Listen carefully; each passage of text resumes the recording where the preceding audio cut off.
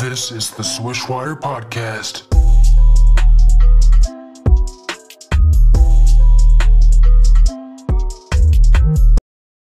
Welcome to March Madness with Swishwire. We've got two very talented ballers with us tonight.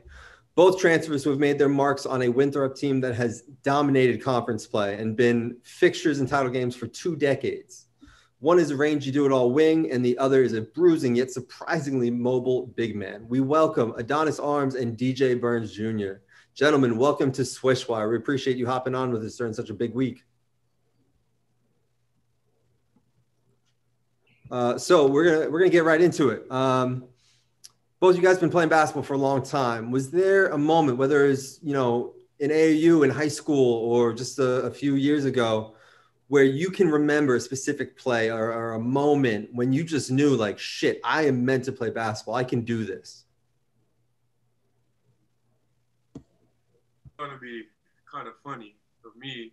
Um, I was playing football and basketball up until eighth grade, mm-hmm. or I was seventh or eighth grade. Um, I was I was playing against a really good team called Saluda Trail. Um, I don't know if you know who he is, but Derion Kendrick that goes to Clemson now.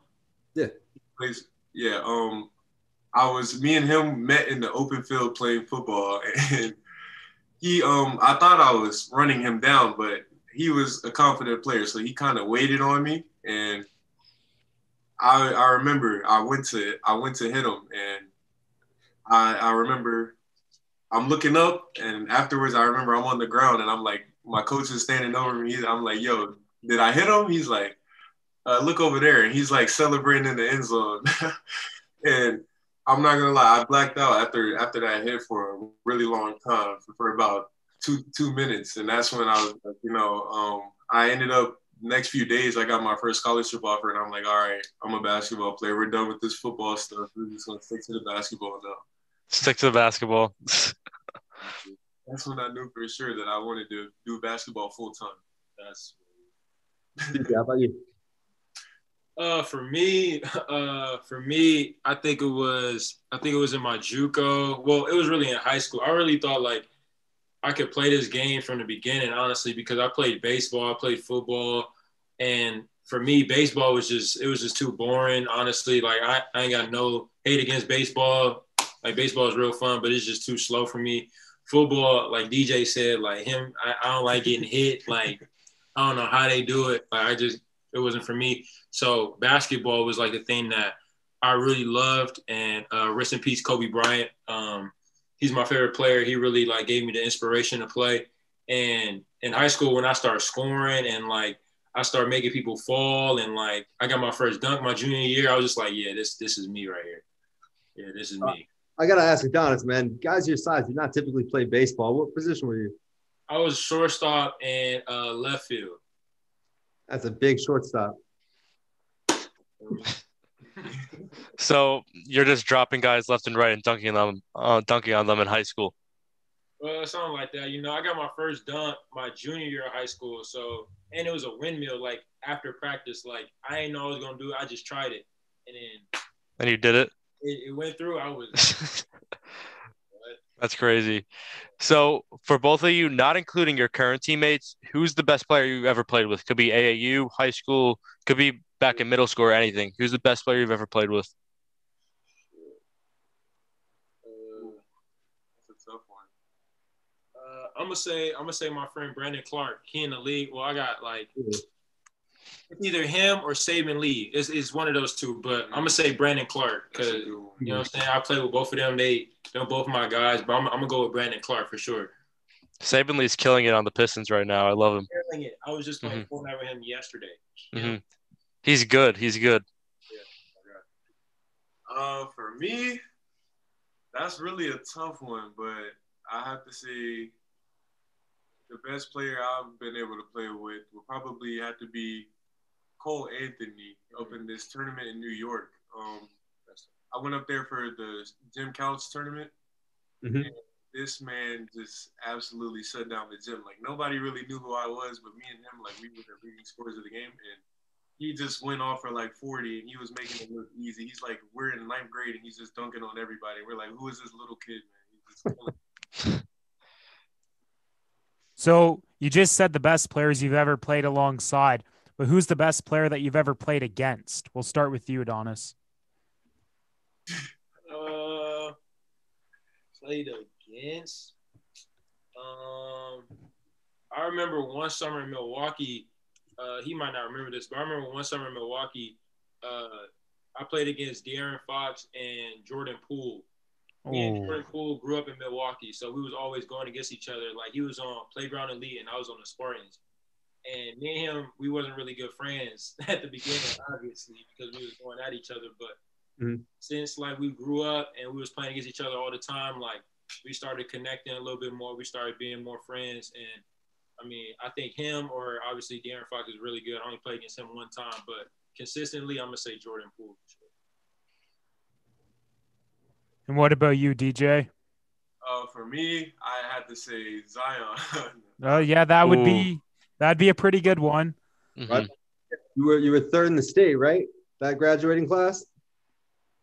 uh, that man is just a freak athlete. There's no other way to put it. Um, I've got to witness that man do some crazy stuff live. Um, I remember we were playing and I was going off and I blocked his shot and he looked at me and he was like, "Bro, I'm about to foul you out." And I'm like, "What do you mean foul me out? Like, tripping?" But sure enough, right around that fourth quarter, we got about three minutes left.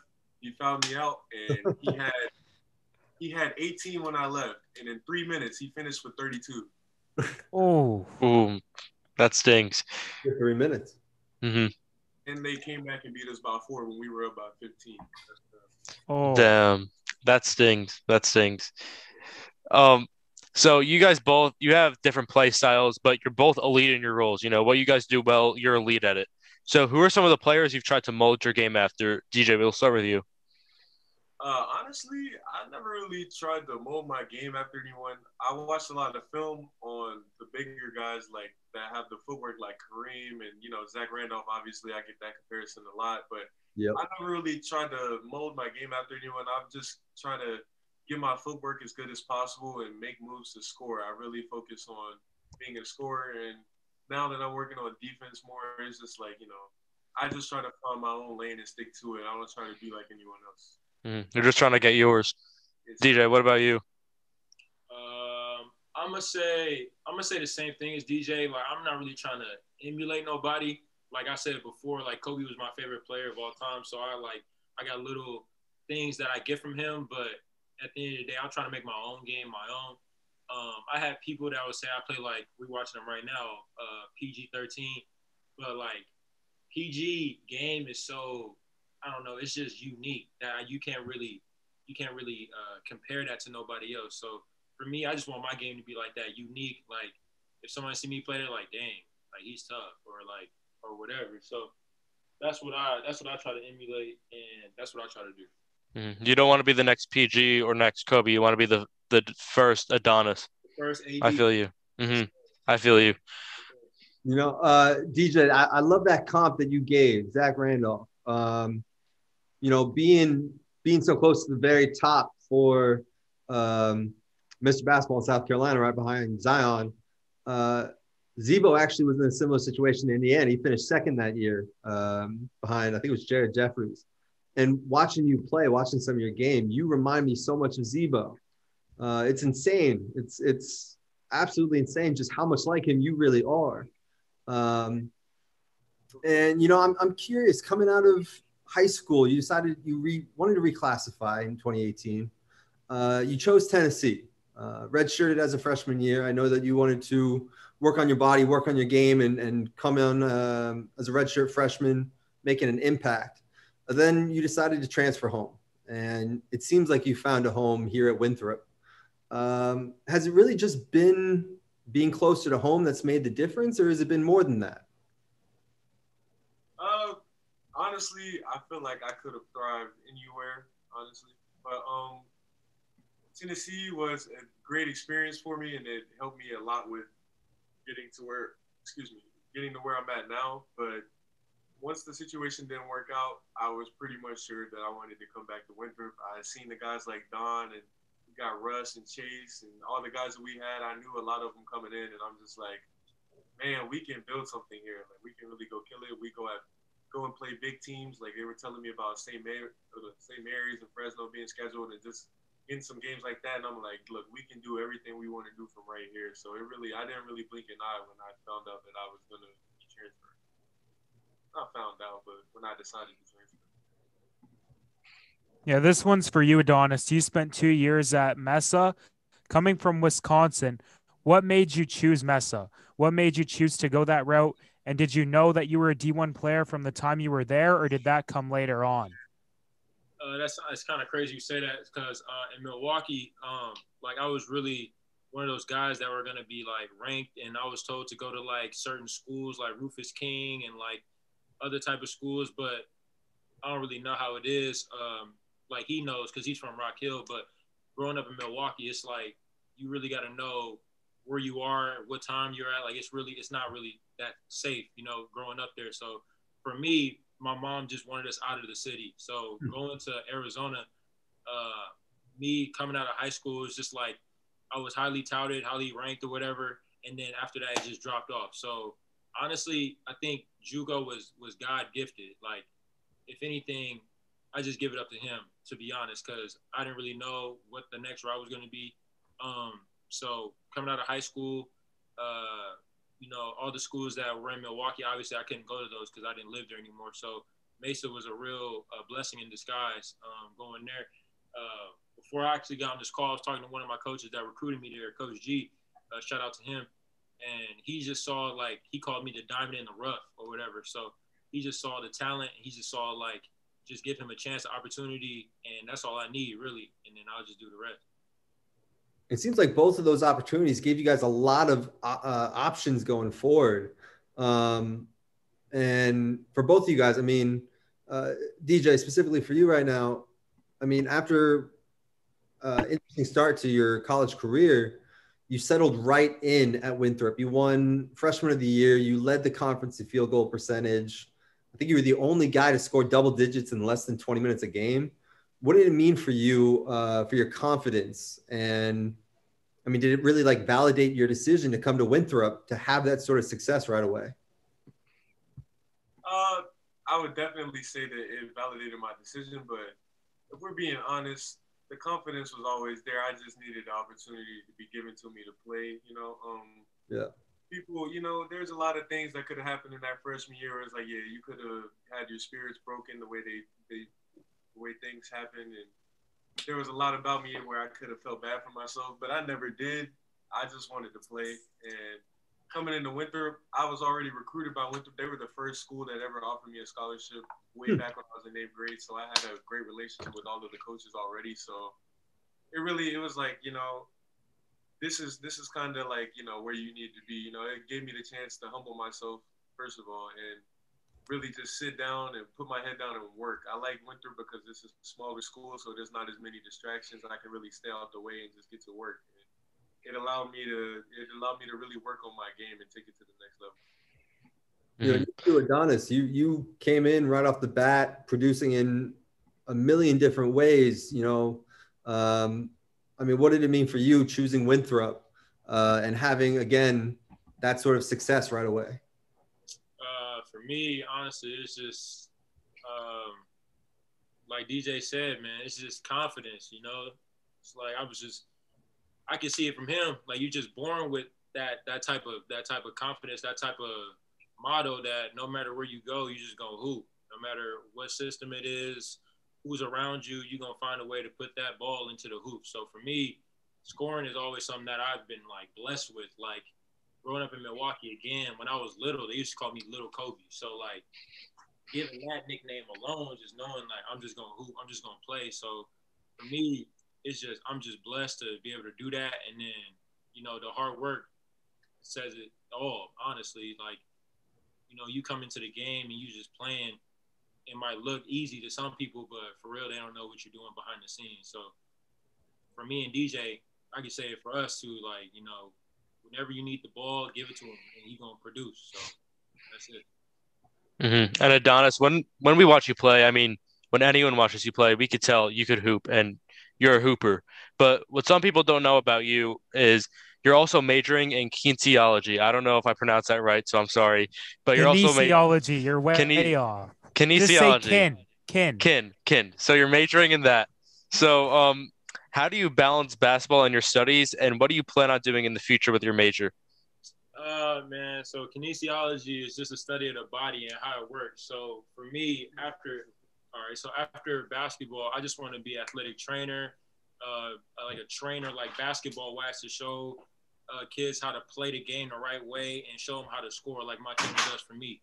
So uh, kinesiology is just another building block to get towards that. Um, and with studies, it's like you know, like DJ said, Winthrop is a place that's real small, so you can focus on those things. You're you're not really bombarded with a whole bunch of outside noise. So for me, I couldn't go outside to play anyways as a little kid without my homework being done. So Hmm. my mom always tells me even now, you got your homework done, what your grades looking like? I need to see them. Like she's still on me and I'm in college. So for me, it's always been that like enrooted thing, like you do your homework and then you go play. So it's not really much for me. And also to follow up, another one for you, Adonis. In the 2018 to 19 season, you were incredible in terms of like a statis- a statistical standpoint, and you you had some accolades to go along with that as well. You won the 2019 GNAC Conference Player of the Year and also Newcomer of the Year. You led the conference in scoring, and you were second in steals, top 10 in blocks and field goal percentage, as well as top 15 in rebounding. What did a season of this caliber do for your confidence? like I said before, the confidence always there. I just need the opportunity. So for me to get those numbers, obviously off the bat, my uh my teammate Obi Megwa, uh, he brought me in there and he was like, "Yo, when you come in here, you're gonna kill this conference off rips. Like I already know you are." And me just playing, I was like, "Okay, I'm just gonna go in and do the best I can." And then at the end of the season, I get those accolades, and I'm just like, I'm shocked, really, because I was hiking at the end of the season. I wasn't really worried about none of that. Like I was hiking, and then my phone started blowing up. I got Player of the Year, Newcomer of the Year, and all those accolades that you just named, and I was just shocked and happy. And I called my mom immediately after, and we celebrated a little bit. So uh, I'm I'm curious at um, um, Northwest Nazarene, right? Yeah. Um, in that year, you played a couple D1 teams. You played uh, Portland State and you played Idaho, I believe. You put up numbers Right. against them. You were putting up like 20 and six against those D1 opponents. Um, Right. You know, you're talking about the confidence was always there, but um, I mean, that's that's got to say something to you, right? That's got to mean something for you to be playing up a division, playing from a D2 to a D1, and going out there with those guys and, and putting up numbers. Yeah.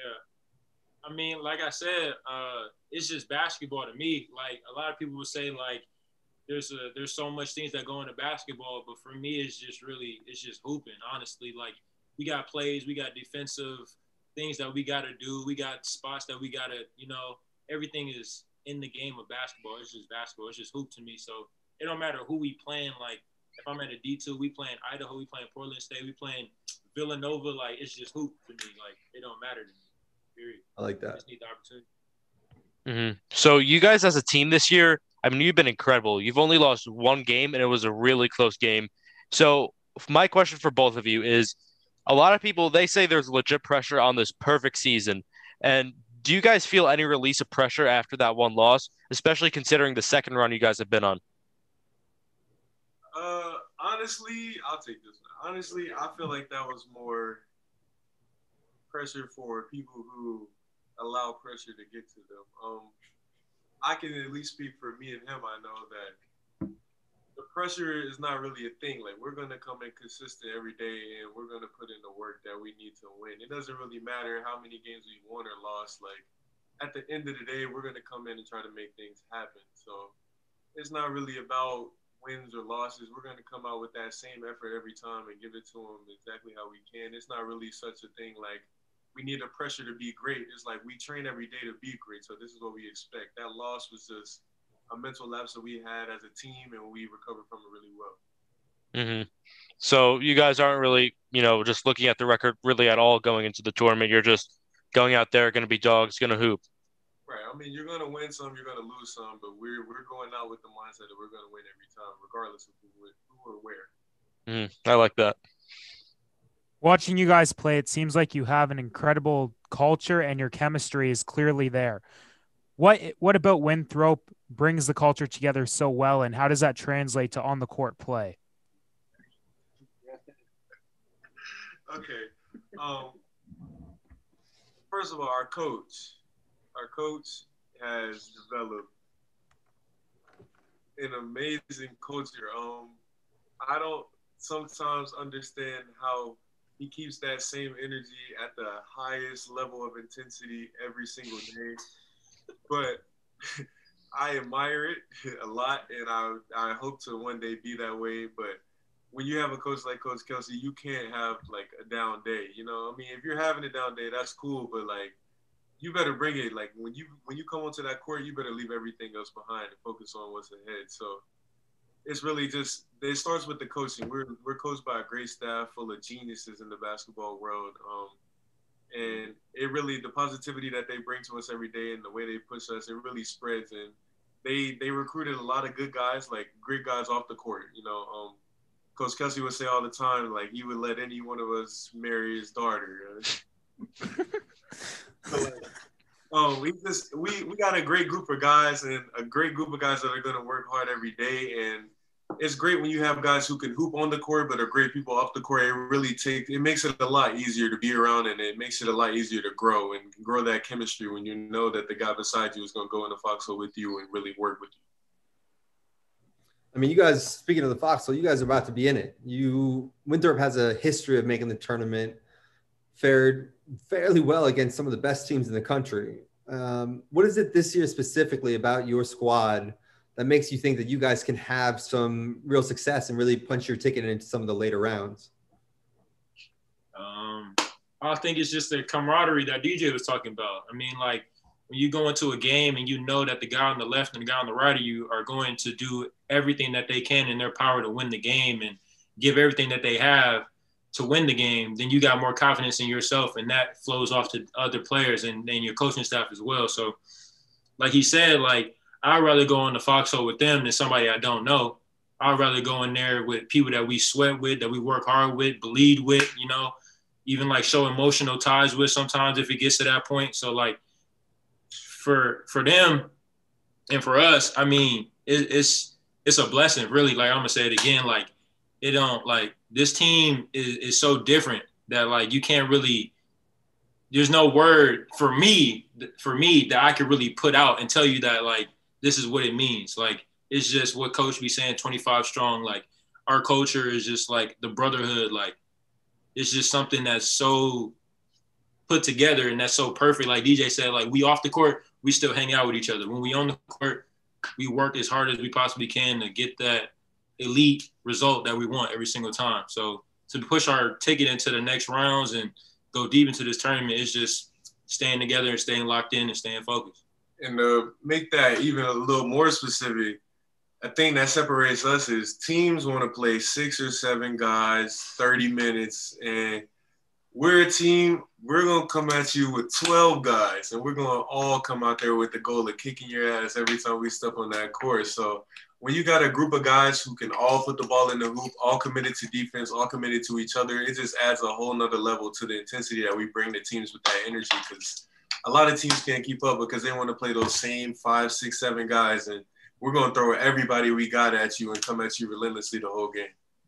You know, it's interesting that you say that. Uh, two two follow ups to that actually. I was shocked when I was looking at some of your guys' box scores, looking at some of your guys' games. You guys play so many people. That's not something you see really at, at the college level. I mean, you've got three guys, I think, who play more than 20 minutes. You've got, I think, legitimately 12 or 13 guys who are playing more than 10. Um, I mean, that's going to be huge come come tournament time that you guys can throw all these bodies at people all these guys that do so many different things. Um, and then uh, Adonis, you had mentioned 25 strong. Can you explain what that is for us? Uh, 25 strong is just the organization. It's just the the team. It's the the head coach. It's the players. It's the managers. It's the academic advisors. It's the managers.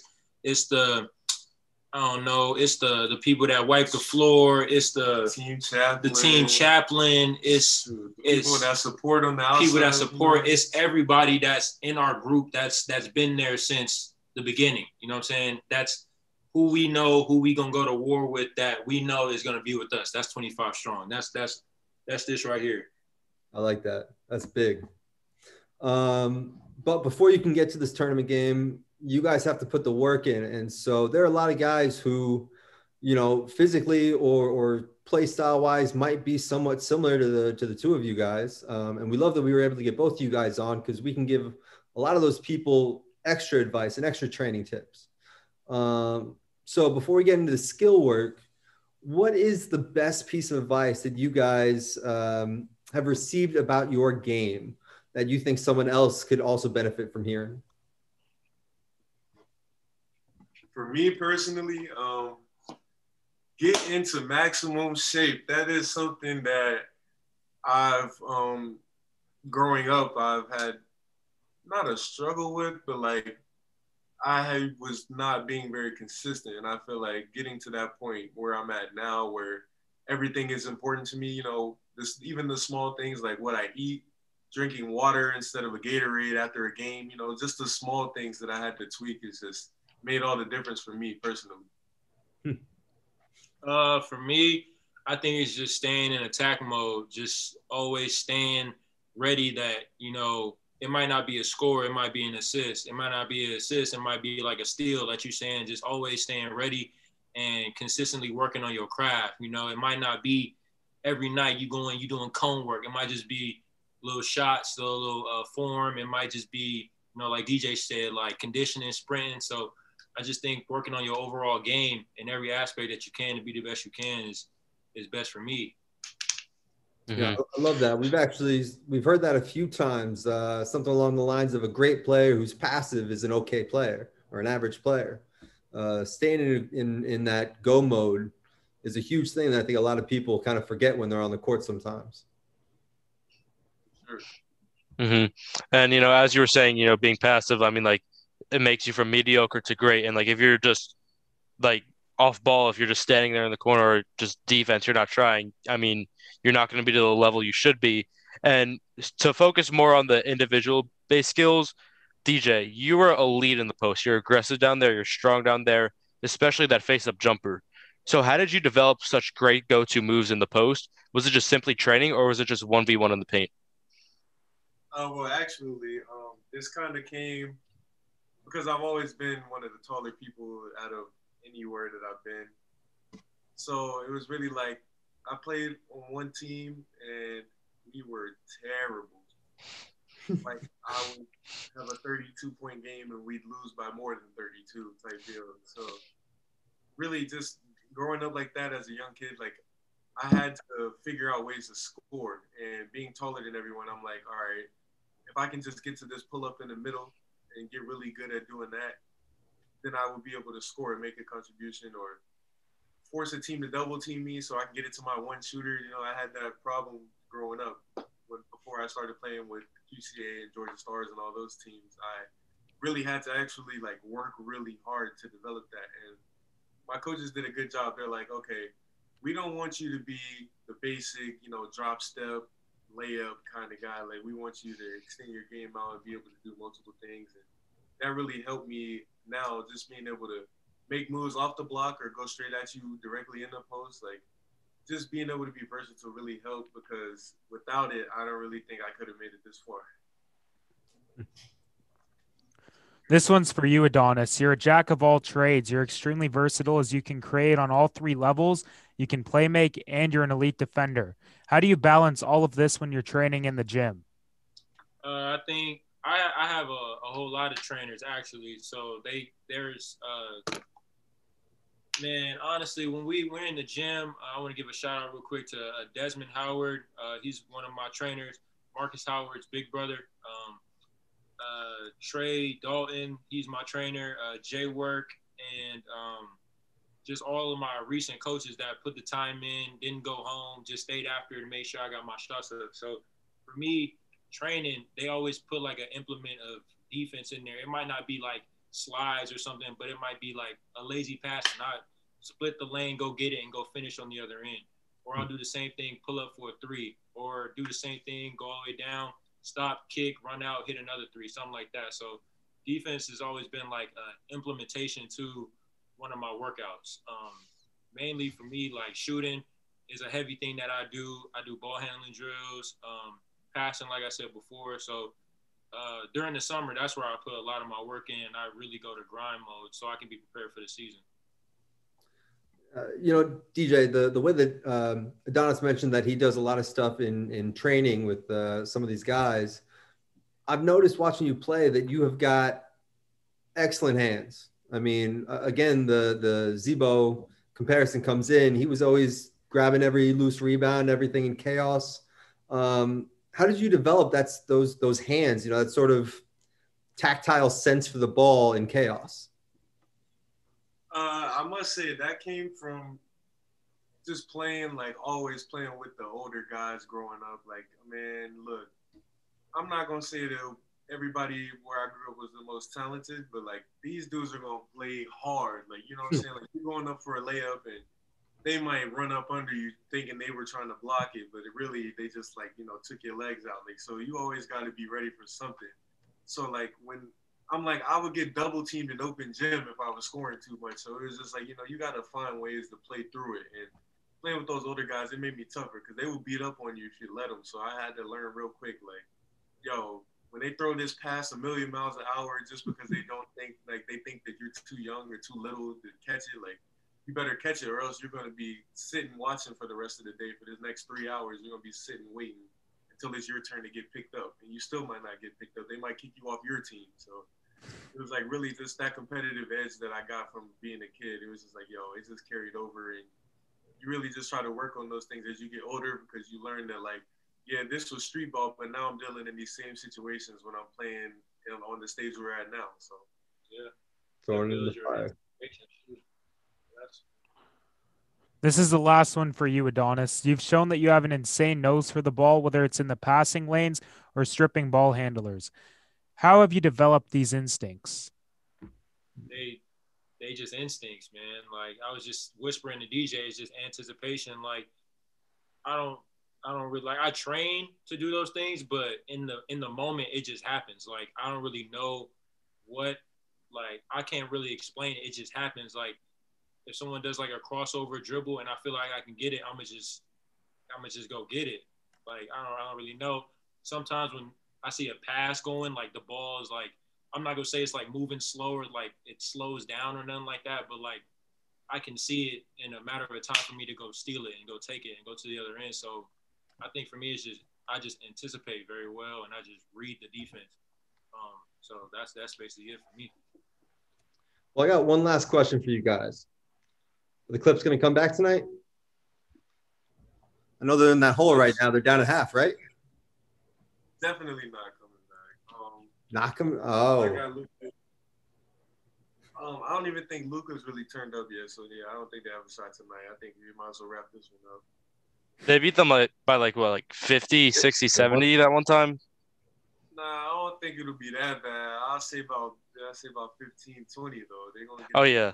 Oh yeah. This time it'll be 15, 20, but last time that was brutal. Yeah, I don't know. I got I got the Mavs too. Unless Paul George start going crazy, then that might be something different. I think that might happen. I got the Clippers. I got the Clippers. Well, DJ and Adonis, man, you guys have had such a great season. Tomorrow, you guys get to take another step in your journeys, uh, facing off against Nova. You guys have this dynamite squad behind you. You stormed through the Big South this year. Now you got a chance to keep it going this weekend. You guys have the pieces to make some noise in the tourney and you guys have such great size and cohesiveness to really give them a run for their money. There's a 12 over a five seed every single year. We think you guys are going to be it this year. We'll be watching. We'll be rooting for you guys. Um, thank you for hopping on with us, and best of luck tomorrow and beyond. Appreciate it. Thank you. Thank, Thank you. you, guys. Mhm. Yes, sir. Having it.